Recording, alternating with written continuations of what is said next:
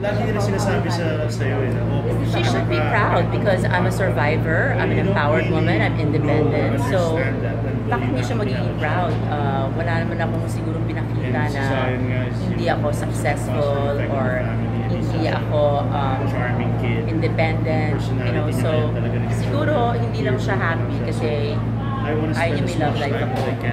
Diba? Baka gusto niya lumaki ako ng ano, tumanda ako ng dalaga. There. No, like I said earlier, it's not the only time that she's been against it. It's uh, an ongoing thing since I was 15. So if it's only now na talagang ayaw niya, talagang magtataka ako, ano kaya, bakit kaya talagang ayaw niya?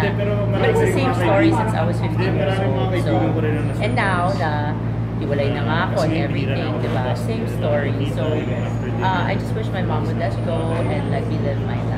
It's a real change of lifestyle. I'm really happy na stable and enjoy. Bakit siya ba yung mga anak?